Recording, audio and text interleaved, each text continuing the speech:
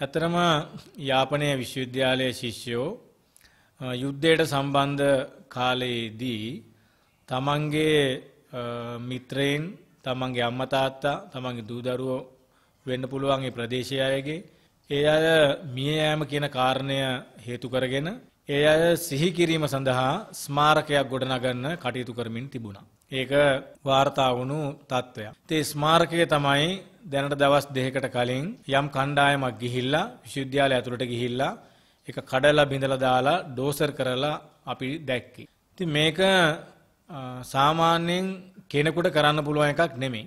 මොකද විශ්වවිද්‍යාලයක ආරක්ෂාවක් තියෙනවා. ඒකට සිකියුරිටි කණ්ඩායමක් ඉන්නවා. විශ්වවිද්‍යාලයේ සමහර පිරිස් ඉන්නවා. ඉතින් එහෙම කණ්ඩායම් ඉඳද්දී පිට කෙනෙකුට ගිහිල්ලා පුද්ගලයෙකුට දෙන්නෙකුට ගිහිල්ලා මේ වගේ උපකරණ අරන් ගිහිල්ලා මේවා කඩලා බිඳලා දාන්න විනාශ කරන්න හැකියාවක් නැහැ. ඒක නිසා මේක සිදු කළේ රාජ්‍ය යාන්ත්‍රණයේම කොටසක් එහෙම නැත්නම් ආණ්ඩුවට හිතවත් කොටසක් කියන කාරණේ පිළිබඳව බරපතල සැකයක් අපි තුල තියෙනවා.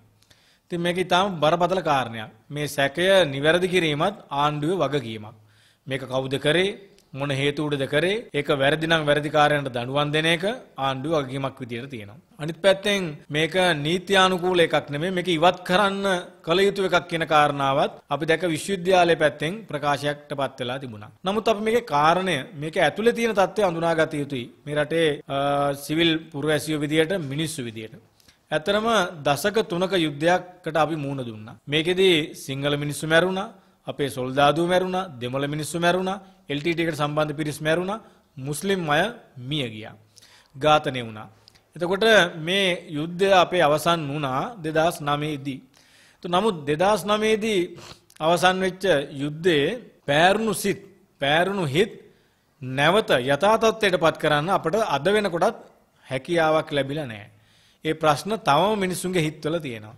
ඊට අදාළ සිද්ධ වෙච්ච කාරණා නොසැලකීම් නොගැලපීම් තවමත් මිනිසුන්ගේ හිත්වල තියෙනවා.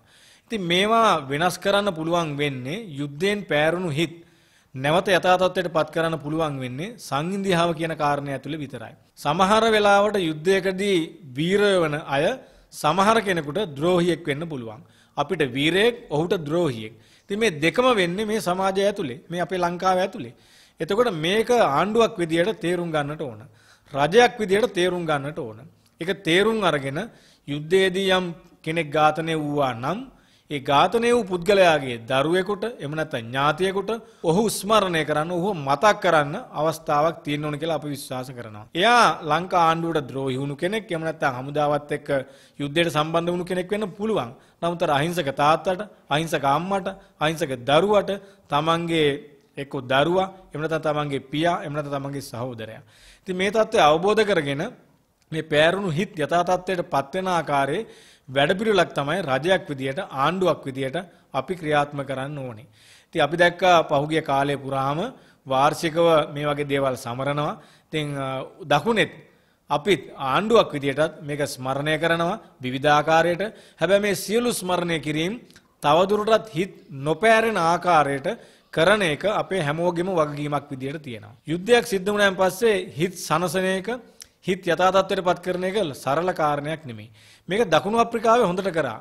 ට්‍රූත් කොමිසම දාගෙන සත්‍ය සෙවීම කොමිසම දාගෙන ඒ රටේ හිටපු නායකයෝ නෙල්සන් මැන්ඩෙලාලා ලෝකයේ දකින රට දකින මිනිස්සු ඒ අය කොමිසම දාලා ඒ කොමිසමෙන් සත්‍ය හෙළිදරව් කරගෙන ඒකට සමාව අරගෙන ඒව නැවත නොවන විදියට කටයුතු කරා. නමුත් අපේ රටේ එහෙම තත්ත්වයකට ගැලපෙන විදියට කටයුතු කරන්න රජයක් විදියට කටයුතු කරන්නේ නැහැ.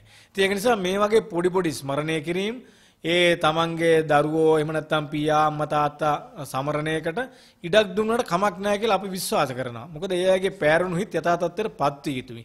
නැත්නම් හිත් යථා තත්ත්වයට පත් වෙන්නේ නැතුව බලහත්කාරයෙන් යටපත් කරන්න බෑ.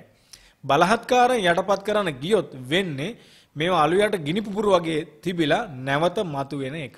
ඒක නිසා මේක ආණ්ඩුවක් විදිහට රජයක් විදිහට තේරුම් අරගෙන මෙවැනි ස්මාරක කඩා බිඳ දැමීම් වලට ඉඩ නොදී දැන් මේක කඩලා ඉවරයි මේක කැඩුවේ කවුද කියන කාරණේ එළිදරව් කරලා මේකට සාධාරණ ඉෂ්ට කරන එක ආණ්ඩුවේ වගකීමක් විදියට තියෙනවා. ඒක නිසා මෙවැනි දේවල් සිදු නොකර තමන්ගේ වගකීම ඉෂ්ට කරන්න කියන කාරණේ තමයි අපි ආණ්ඩුවෙන් ඉල්ලන්නේ. The News Reporter වාරණයෙන් තොර අපක්ෂපාතී වාර්තාකරණය